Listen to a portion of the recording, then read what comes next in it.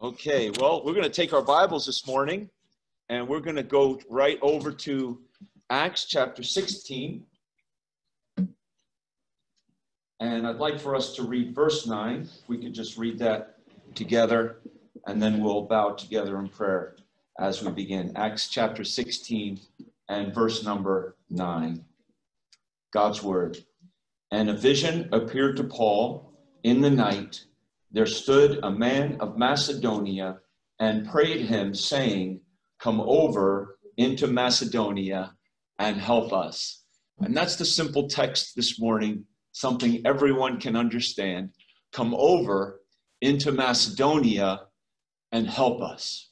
It's a gripping text of Scripture. And may we hear the cry, this cry for help from the city today. Let's pray. Father, thank you now for this day. Thank you, God, for just the wonderful privilege we have to be in your house. Continue to bless this service today as we serve you and praise you during this special time of our missions conference. Lord, help us to hear this cry for help from the city.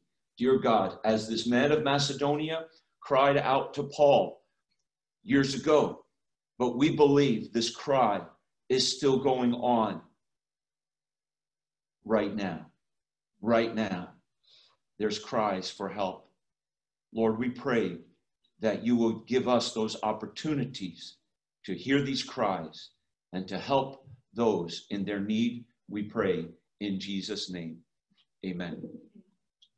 So I remember years ago when we started a church on Flatbush Avenue in Brooklyn, and around the corner from our church, there were guys always hanging out and you know drinking and they would have their wine bottles in their in their little brown sacks. And i would go around the neighborhood and pass out tracts and talk to them and i got to know them pretty well. And one guy's name was slim.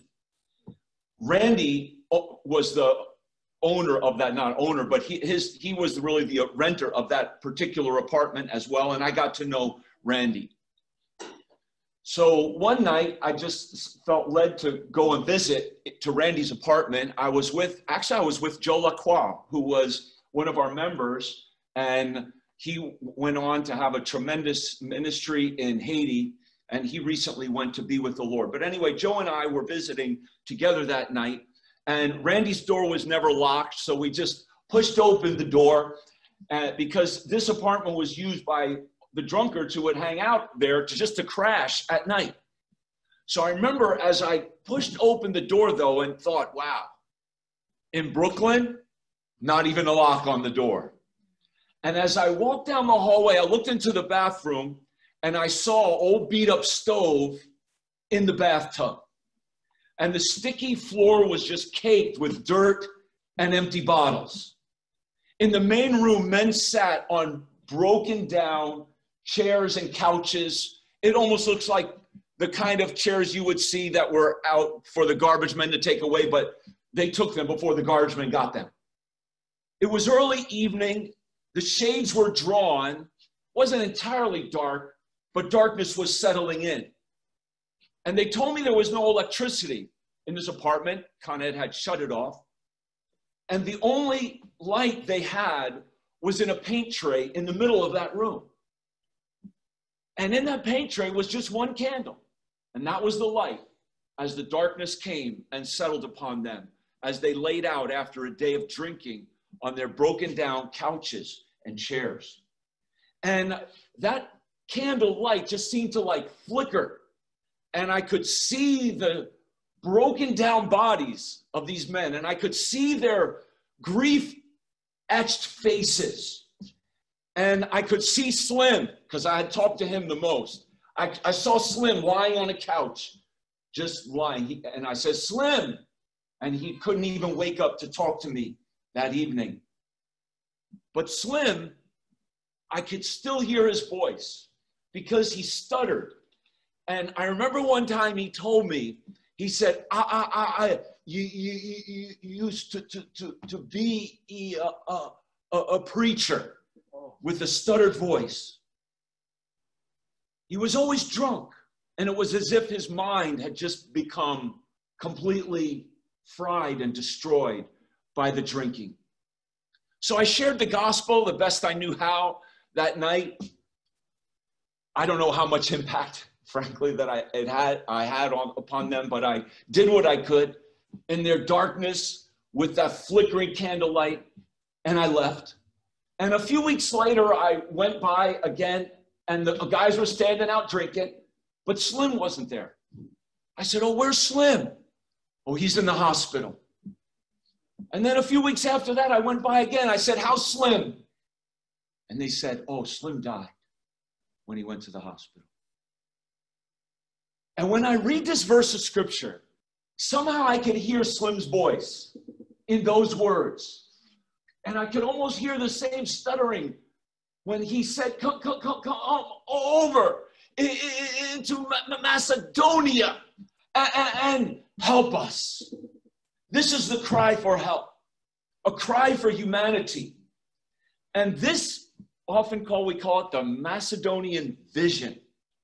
And a vision is a supernatural sight. Paul really saw something, but it was a vision. We don't know whether it was a real man or not. It was a vision in the night, but it was a real sight, something he saw. And when it says in this verse, a vision appeared to Paul, and there stood a man of Macedonia and prayed him. That's in the tense of like he was praying him continually. Like come over come over into macedonia. You've got to come paul. Please come please come. It wasn't just a one-time thing. It was a continuous appeal for help. And that's what we need to hear as missionaries in new york city. And that's what we've been sharing with our church family here during this missions conference is we have a missionary family with us, but he's not the only missionary here. Who's the missionaries? Put your hand up if you're a missionary. That means if you're saved, we should all be missionaries. So the challenge is for all of us to be urban missionaries, to be city missionaries. We need to hear the cry for help. Those listening to me on Zoom today, hear this cry for help. Be a missionary. We need to take this responsibility upon ourselves to hear this cry.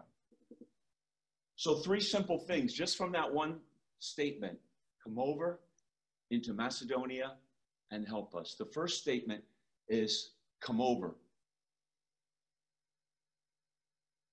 Is this supposed to go? Or does this go?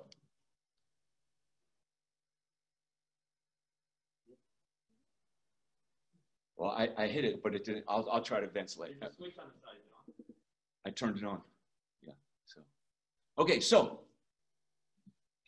Paul is on his second missionary journey, and as he is going through Asia, he started. Of course, he started uh, down here in Antioch. He started in Antioch, and he went through this area. And the Bible says he went through Galatia.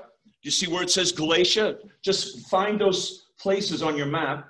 Says he had gone through Phrygia and Galatia.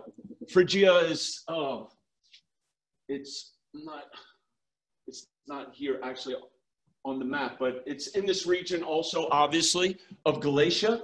And then it says they were forbidden of the Holy Ghost to preach the word in Asia. So when they went into Asia, the Holy Spirit didn't give them any rest to stay there in Asia. So they kept going through Asia. And then it says in verse 7 they were come to Mysia and they essayed to go down into Bithynia. So they went into this area of Mysia and they were forbidden to stay in this area as well. So they kept going. So, in other words, to hear the cry for help, you don't stop. Don't be discouraged. Here's Paul on his missionary journey. He's like, okay, Lord. And God says, no, not here. well, where? Paul's like, well, I give up. I want to just go to Asia. What, what if Paul's vision was just to go to Asia? He would have missed out. He would have missed the vision.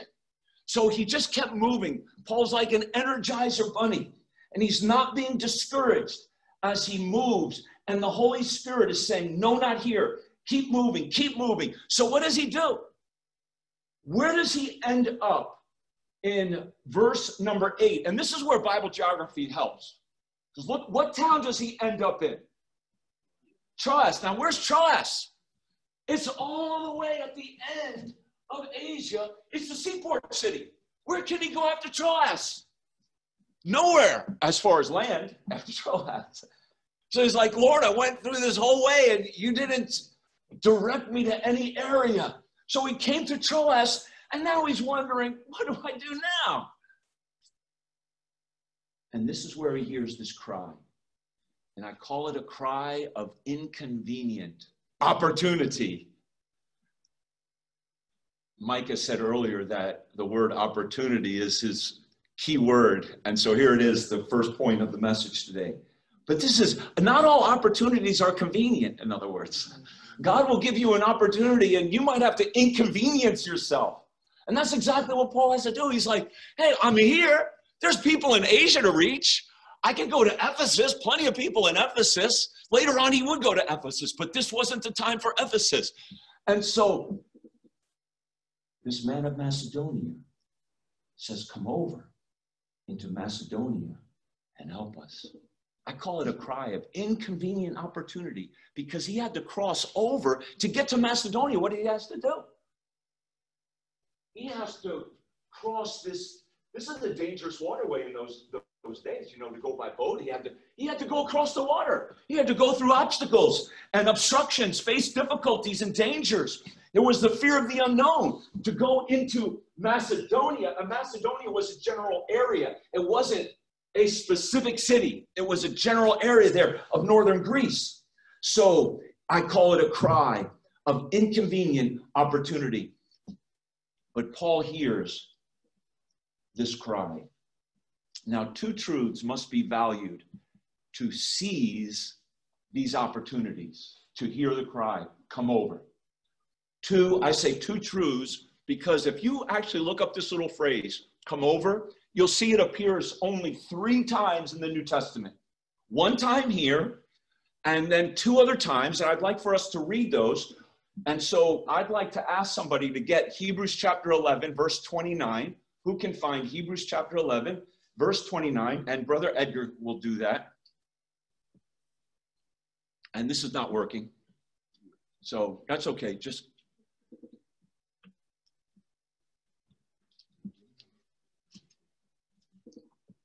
Can you flip the slide? Okay, so this is just a little bit of a, I, I had a closer shot so you could see now of Macedonia, the area of Macedonia. Yeah, just keep it there for a moment. And let me just show you, let me just show you this though. Uh, Macedonia was a critical area of this time in, in Paul's history because through Macedonia ran the Route 80 of his day, if you will. It, it was a transportation hub.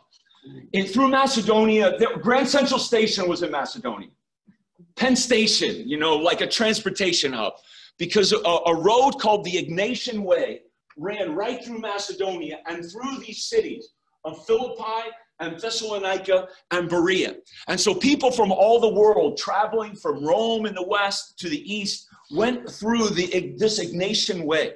And so God was leading Paul to this area of Macedonia. Okay, Hebrews chapter 11, verse 29. By faith, they passed through the Red Sea as by dry land, which the Egyptians, as saying to do, were drawn. Okay, so how did they pass through the Red Sea? By faith. That word passed is the same expression, come over. So, how was Paul going to go over into Macedonia? By faith. He had to have faith. If we're going to hear the cry for help, we must have faith. We must have faith in the Word of God, that the Word of God is the real help they need. We must have faith in the Lord Jesus Christ, that He is the Savior of the world, and there's salvation in no other. We must have faith in the power of the gospel. We must believe that the same gospel that saves us can save anyone. We must have faith in the blood of Jesus Christ that cleanses us from all sin. We must have faith in the power of his resurrection, that he is alive, like we've been singing in that great song. Our theme song talks about how Jesus saves and Jesus is alive.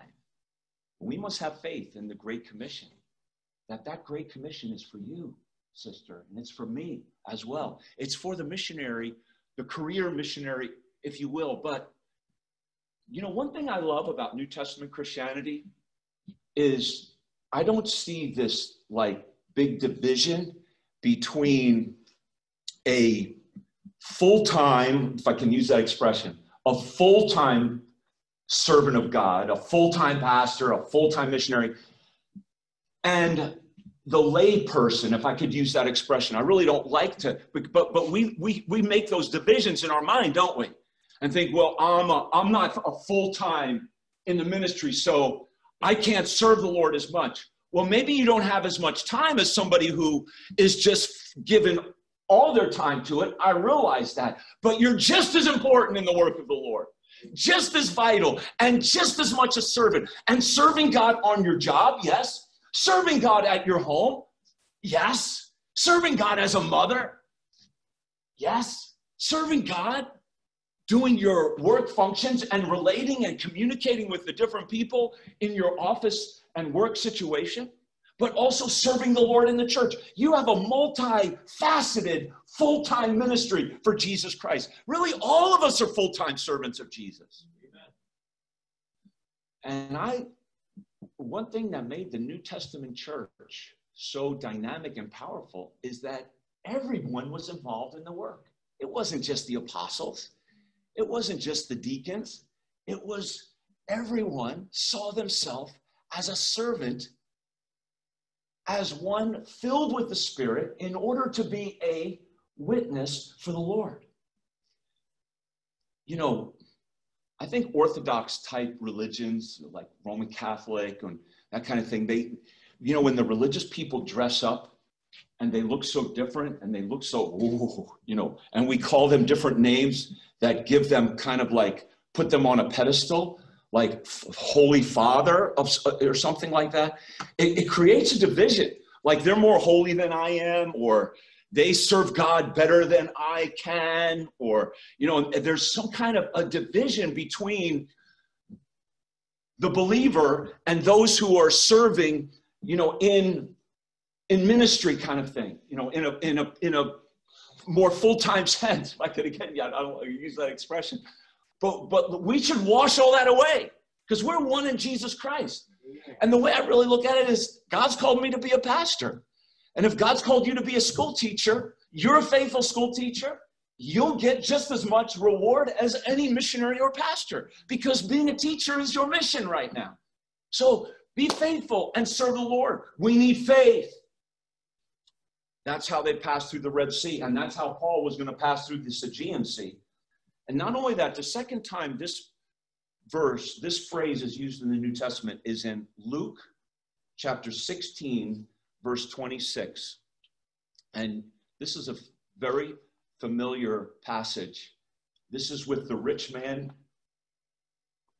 and Lazarus, and the rich man is in hell. Who could read for us this morning Luke chapter 16 and verse 26? You have it? Okay, Brother Jeff. 16, 26.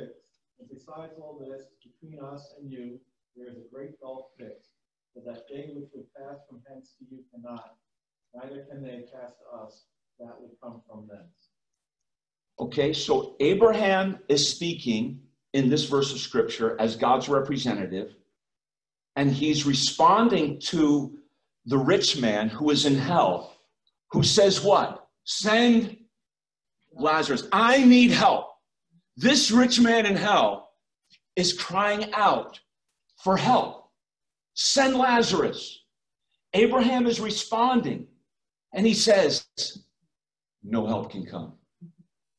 No one can pass. And the word in verse 26, that's the word in our text in Acts 19, uh, Acts 16 9, where it says, They which would pass from hence, that is from paradise to hell, cannot neither can they pass to us.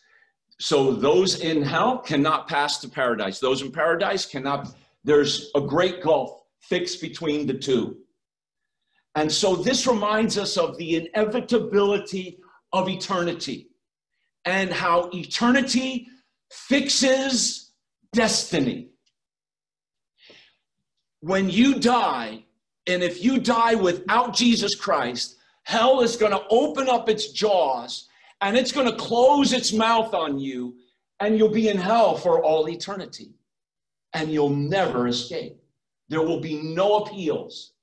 There's no higher court, no higher judge, no higher king to appeal your case to. If you die without Jesus Christ, you will have rejected the King of Kings and the judge of all the earth who always does right. And you'll be in hell. But if you're in heaven, you'll be in heaven. And that too is fixed. Praise God. One of the most surprising things, you know what I think one of the most surprising? You're going to be so surprised in heaven. And you know what it's going to be? That I'm there. that you're there. I heard a preacher one time say that. He said, The most surprising thing about heaven is like, I can't believe it, I'm here, I can't believe it. You know, this is great. of course, we do believe we're going to be there, but actually, when we're there, we're going to be like, I can't believe it, this is better than we could have imagined. Heaven is going to be so glorious, and we're going to see Jesus Christ. I can't wait to see the nail prints on his hands. And we want everyone to be with Jesus. That's why we do what we do. Beloved, quite frankly, if there wasn't a hell to gain and a, a heaven to gain and a hell to lose, there wasn't a heaven to gain and a hell to lose. I don't know whether we'd be here. I don't know whether I'd be in the ministry. I mean, there's something great to gain, and that's to be with Jesus and glorify Him along the way. And there's something awful to shun, and that's a real place of hell and fire and flames. And it's an, there's an eternity that is inevitable in all of our lives. And so the point is come over and help us take the opportunities we have now because someday we won't have that opportunity. That's the point. Take the opportunity now, beloved, because once we're in heaven, we won't be able to pass over and help those who really need the greatest help. And we have so many opportunities in our city. We've heard a little bit about it. But what a great city is New York. Let's not give up on New York City. Let's have a heart and passion, even more for New York City in such a time as this. You know, when the world is talking about the, the dangers increasing, and yeah, and people moving, yeah, okay. But that doesn't mean we, we move. We don't run with the world. We have to follow God's will. Now, if God leads you to move, that, that's between you and God. I'm not saying, you know, a, a Christian can't move at this time out of New York City. I'm not saying that at all. But I will say this when we came to New York City in 1984, it was in a very bad situation at that time. There was an average of five homicides a day in New York City when we moved here in 1984. And so let's believe God has us here in its 6,400 miles of streets, 230 miles of subway lines, about 8 million people. And do you know we live in one of the most amazing areas of the world to li- either live in or around? Some of us live in, some of you live in, some of us live around Manhattan.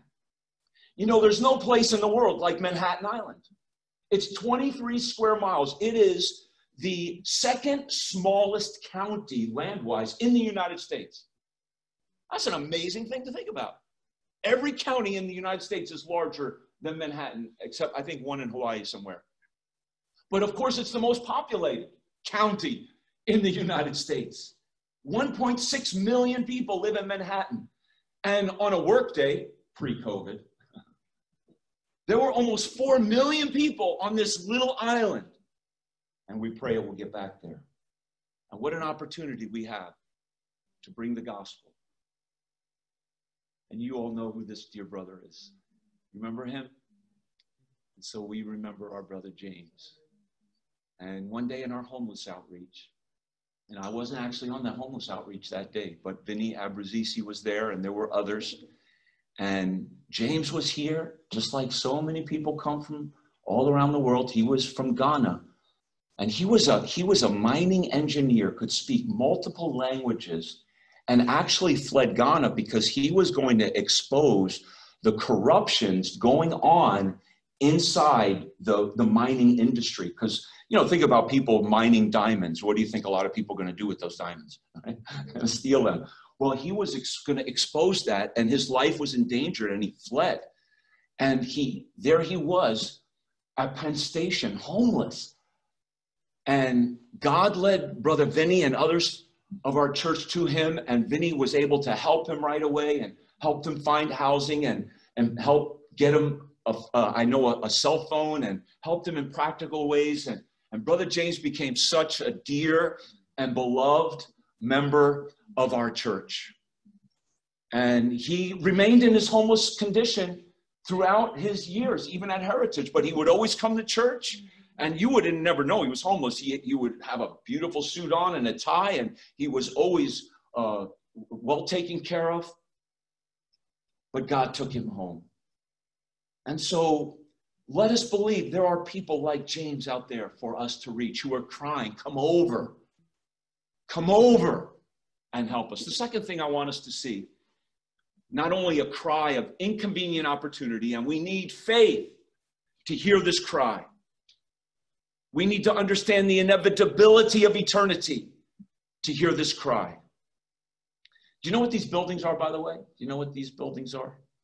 I'm going across, when I took this picture of the Willie, I'm going across the Willie B. Bridge. Some of us are very familiar, aren't we, Pastor Carmine, with that site right there. Pastor Carmine, how many times have you seen those buildings?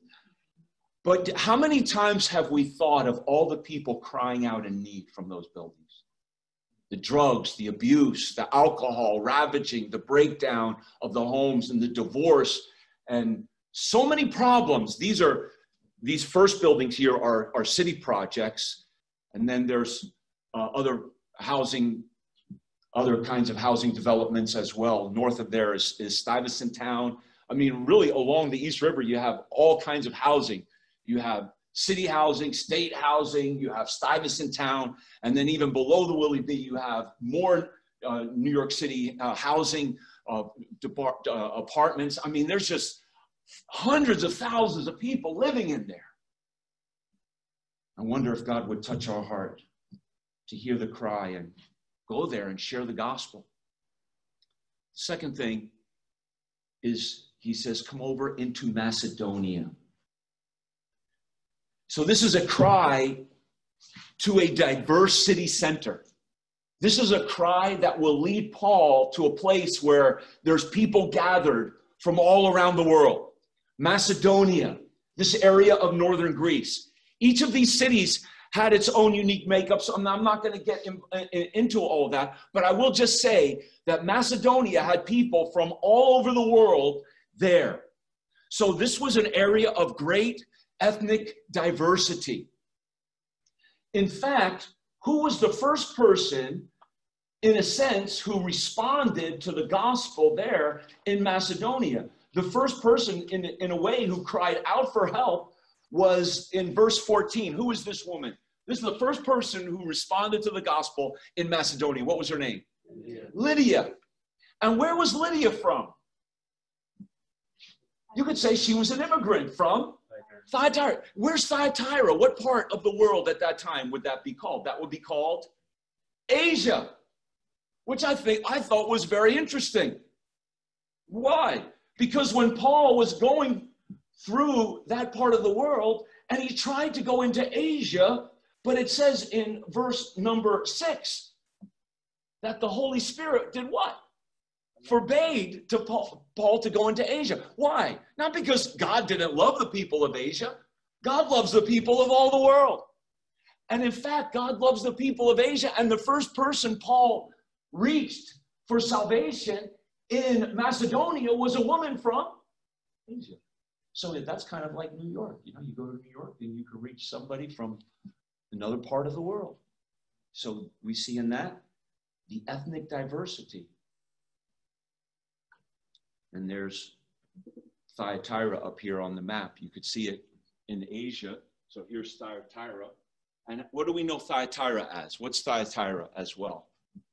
That's one of the cities where, exactly, where, and, and later on in Acts 19, if you keep reading the Acts passage, Paul goes to Ephesus in Acts 19, and it says all Asia heard the word of the Lord, most people believe these churches were started at that time. And then the Apostle John became the pastor of the church of Ephesus and later on wrote the book of Revelation to those seven churches of Asia. One of those cities was Thyatira. So Paul ministered in these three great cities of Macedonia. Philippi was like a Roman colony. Thessalonica was the former area where Alexander of Macedon, Alexander the Great, Alexander of Macedonia was from this area. And he became the mighty ruler of the world. So this was an area that had tremendous history to it, and Berea. And so Paul went to these three urban areas. And again, that's very interesting. God says to Paul, through this man of Macedonia, come over into Macedonia. So he was going to go into Macedonia. Where does he go to reach Macedonia? Where's the first place he goes? He goes to Philippi. Now, why do you think Philippi? Verse 12. What does it say about Philippi in verse 12 that's significant? It was the chief city. So, in going to the area of Macedonia, the first place he goes to is the most influential city of Macedonia, to Philippi. And, and then he went to Philippi, and of course, he helped this woman, Lydia. He helped the Philippian jailer, of course, who was saved when he was imprisoned there. But then when he left Philippi, did he leave Macedonia? No, he went in Acts 17 to what's the city there that he goes to in Acts 17, verse 1? He went to Thessalonica, the second important city of Macedonia. And then when he left Thessalonica, did he leave Macedonia? Not quite yet. Then in Acts 17, verse 10, he went to the city of Berea. And so these were the three key cities of Macedonia Philippi, Thessalonica, and Berea. After Paul went to Berea, did he leave Macedonia? Yes. So what's the point? The point is come into Macedonia, help us. And the way he brought the greatest help to Macedonia was by going to the chief cities of Macedonia. And so it's things like this, beloved, quite frankly, when I saw these in the Bible and I began to study urban ministry, I saw this, and that's why we came to New York City. And this is why we're still here in the city. Somehow, I believe going to the city will have the greatest impact upon the, the general areas. And so, as Paul heard this cry to go to this area of ethnic diversity, to minister to these three great cities of Macedonia, I believe this cry for help that led him then to the great cities of Macedonia echoed in his heart throughout the rest of his life. And in a sense, this Macedonian cry directed his steps throughout the rest of his ministry days. Because this cry rippled through his life, because when he left Macedonia, when he left Berea, where did he go? Acts 17. He went to Athens, the university city of the world. When he left Athens in Acts 17, where did he go? Corinth the commercial capital of Greece at that time. When he left Corinth, where did he go? He went to Ephesus, the capital of Asia Minor at that time. When he left Ephesus, where did he go? He says, I must go to Rome. And he actually got there not exactly the way he wanted to, but he did go to Rome. So he, after he went, so this Macedonian call, I believe, changed Paul's direction to focus in the rest of his ministry life on the great urban areas of his day, the city centers. Because even what we're seeing now, just think of what we're seeing now in our cities and the violence in our cities. Kind of starts in the main cities, New York, Los Angeles. Now we see it happening in Rochester and in pretty much what's the what's the city in Wisconsin? I can uh, Kenosha. Kenosha. Yeah, Kenosha. It's like uh, like a midwestern town. We're seeing the violence spread around, but it's first had its start in Seattle, in Portland, Los Angeles, New York, and then it spreads. What's So what happens in the city doesn't stay in the cities, and what cities are, nations become. And we are in the we are, you know, in the epicenter of what goes on, aren't we, in Manhattan? It seems like we're always in the epicenter of whatever's happening. So may God use us to hear these cries for help. And so the third point is we see not only a cry of inconvenient opportunity, come over, and we see a cry to the diverse city centers of his day, but we hear a cry of extreme urgency. Just that simple little phrase, help us. That's actually a compound word, two words in that one word. One word is run. And he's saying to Paul, run, run. So I, I, see a building on fire and somebody's about to burn up. And they're like, help, help, run, quick. You don't have much time. That's the impact of this cry help us. It's a command. He's not suggesting for Paul to come, he's shouting and commanding for Paul to come. Come and help us. What's interesting here, we really don't know who this man of Macedonia was. It was in a vision. He was, I believe, crying out to Paul for those that Paul would reach with the gospel. Some say, though, it was Luke. I don't know.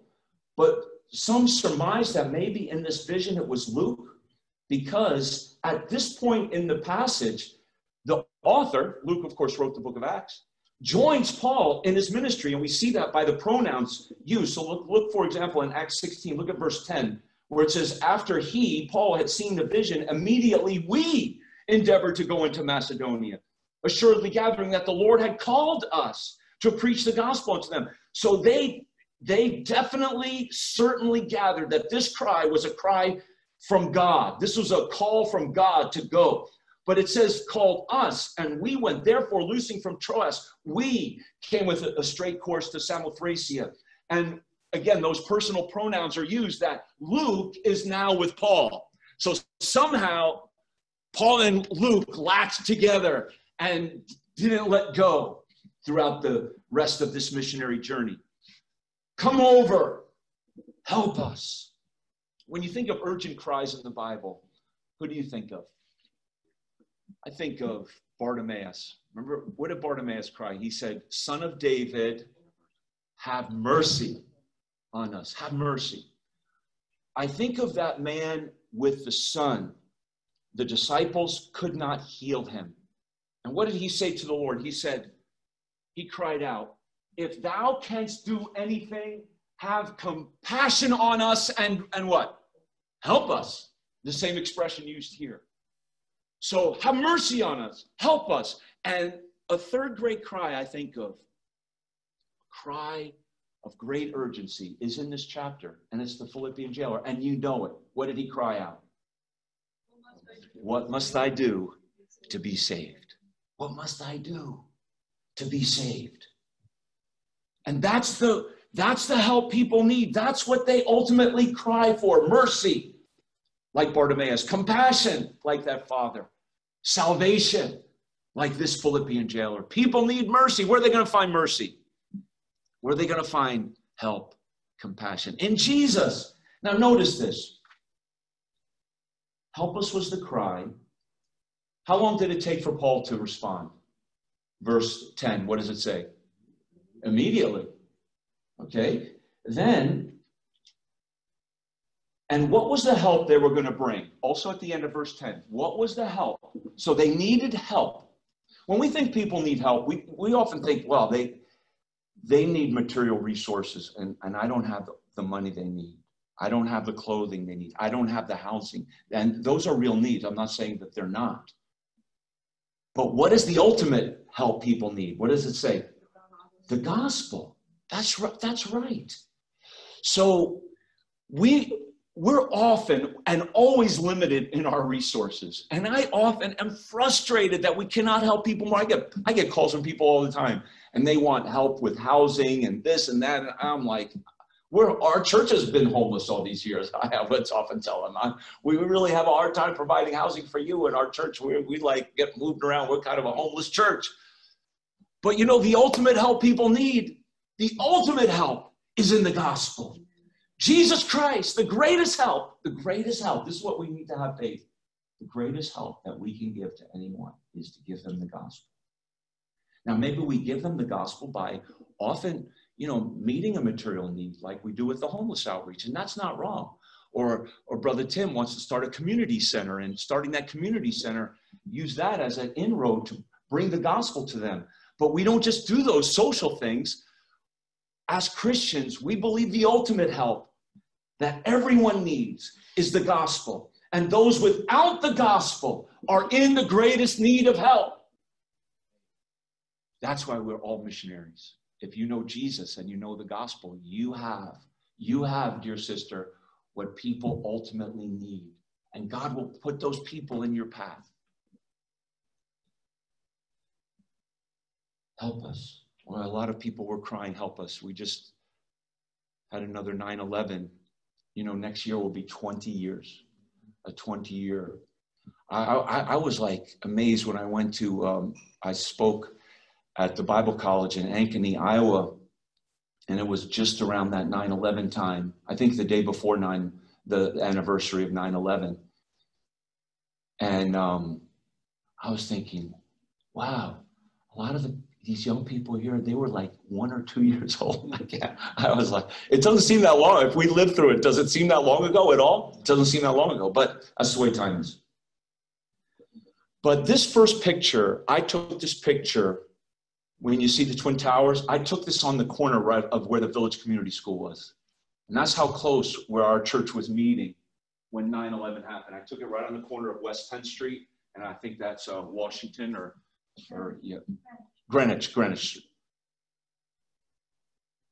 Now that would be down uh, south from you. That would be, or going uh, west, one block. You're on Greenwich, right? I, yeah, I was on. I was on the other corner of. Yeah, yeah. That's Washington, right? The the yeah. That was on the corner of Washington. Yeah, but looking right at the World Trade Center.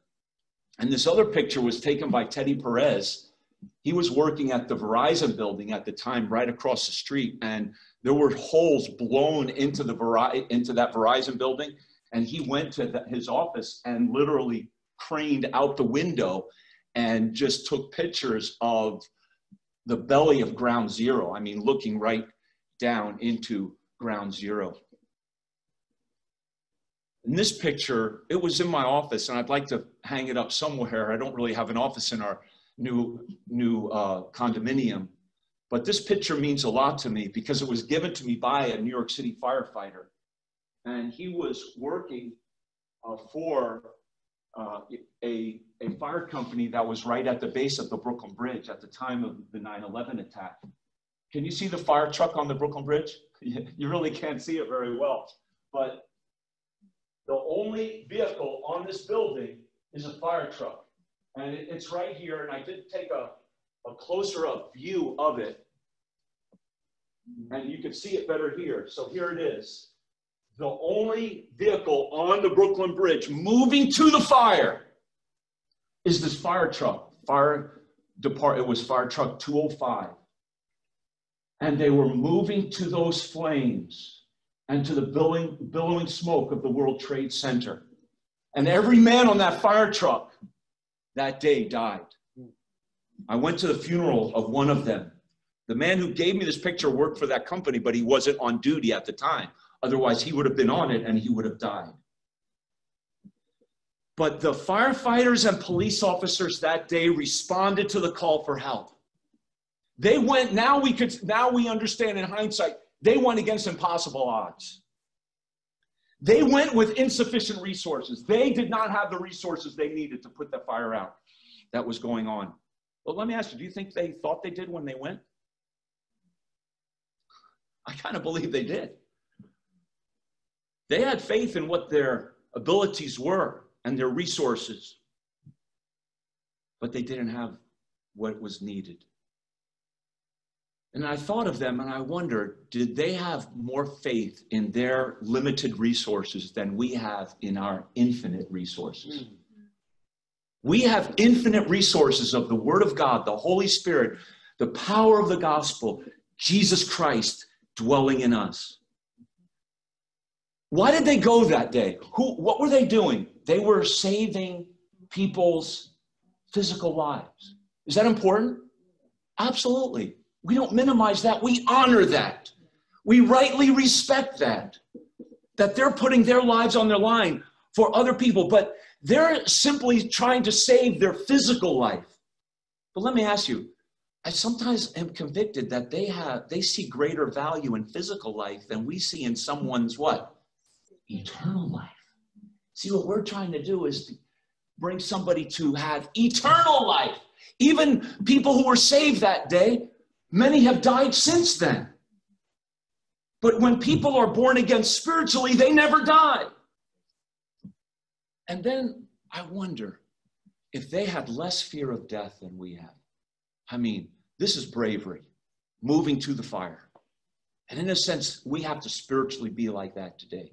We have to move to the danger, but know that we have the power of the gospel. So let me just share this in closing about Hudson Taylor. And you know that I love the life of the great missionary to China, Hudson Taylor.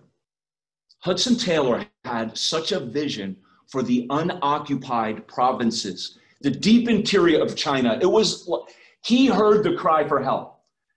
The deep interior of China was crying out to Hudson Taylor, come over into Macedonia and help us. And in the autobiography of his life, there's a chapter entitled Not Disobedient to the Heavenly Vision. And he tells the story where Mr. Taylor met some of the young missionaries landing in Shanghai and meeting them and then introducing himself to them. And when he met them, for one, he was in Chinese clothing. They didn't even recognize who he was. They had to say, Oh, this is Hudson Taylor. Otherwise, they never would have recognized him because the way he was dressed and even the way he carried his Chinese umbrella was just like a national Chinese person would do it. But Hudson Taylor met these young men and he said to them, after a long journey, he said, Perhaps you would like to accompany me to my hotel. They're like, Oh, probably, oh, that sounds good. A hotel, I could use a good sleep. So they agreed, but they didn't know what they had in store for them. So Mr. Taylor walked with them from the dock and he walked along a major thoroughfare and it's still, I believe it's still there. It's called the Bund in Shanghai. And it's alongside a river and at that time, there was an American settlement and an English settlement and a French settlement. That's where, you know, people from the West would live. And they probably thought, oh, we're going through the settlement and that's where Taylor lives. But he went through the English settlement and they kept going. And he went through the British settlement and they kept going. And he went through the French settlement and he still kept going. They're probably thinking, when are we going to get there? You know, where are we going? Where's Hudson Taylor leading us? And so they kept walking, and now they were in the midst of, of where all the Chinese people were living and trading and hustling. And it's described like this in his autobiography there were heaps of odorous refuse, fish, vegetables, muck from the streets, filth of all sorts, stenches, massive and unrelieved. And it, so here were these young foreigners, and it was all coming into them, and they were taking it all in. Finally, Hudson Taylor turned off the Bund and he went up a side street and he weaved his way through the crowds and he stopped outside a post office and he said, Our hotel is here. And like, huh? It's a post office. And he went, he went into the post office and to the back of the post office, there was another little door. He says, The hotel is upstairs. So they pushed open the door and it was dark and it was narrow and there was no lighting. And they they went up this narrow dark stairway. And then hudson taylor led them through the pitch dark stairs and found and then went into an apartment and it was 12 feet square. And there was no adornment in it except a little table in the middle of the room.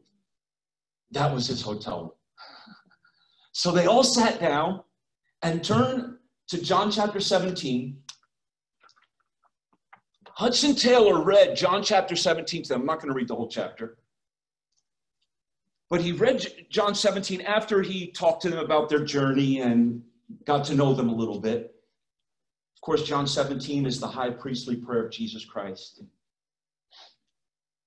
But after he read John 17, he asked them this question. He said, What are the meaning? What is the meaning of the final phrase, final few statements of John 17?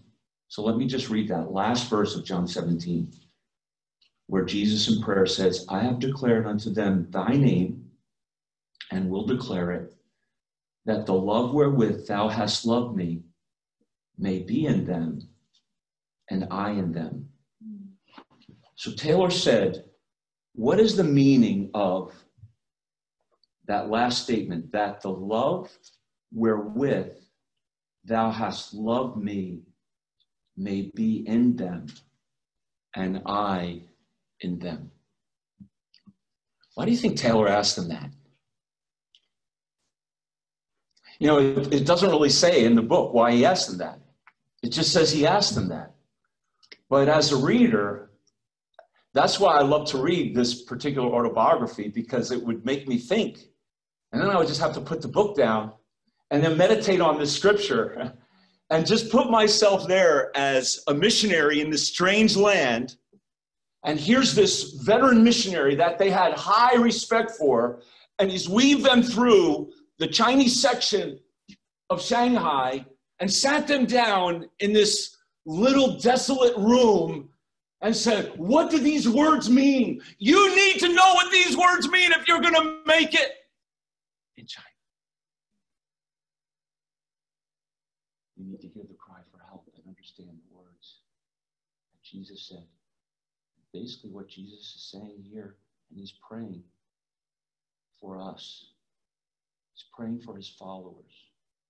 What is he praying? He's praying that the love, think about this deep love. How much does the Father love Jesus? How much does the Father love Jesus? With an infinite love, eternal love, an everlasting love. Jesus is saying that the love wherewith thou hast loved me will be in you. That the love the Father has for Jesus, you'll have that love. then I'll have that love.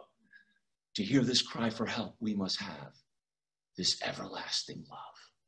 Of God in us.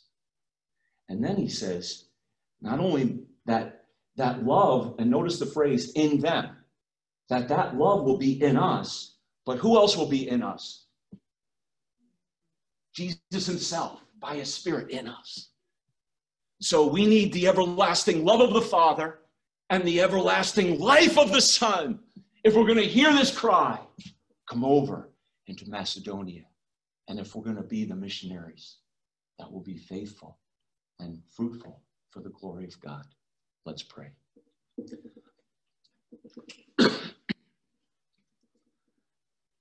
Thank you, Lord, for your great love to us. And we praise you. Oh, Father, praise you for the love that you have for your Son. And yet you sent your Son to die for us. And we do pray that we will have this love in our hearts for Jesus. That's an infinite love, Father God. But we know that you do great miracles. So help us, Lord, to hear this cry for help. Help us to embrace the ministry that you've given to us during these days of confusion. Many people, uh, days of, of anger and cynicism days of unbelief and apostasy, atheism, ag- agnosticism. But Lord, give us faith to stand in love and with the power of your life. In Jesus' name, amen. Amen. Let's stand together. I'm going to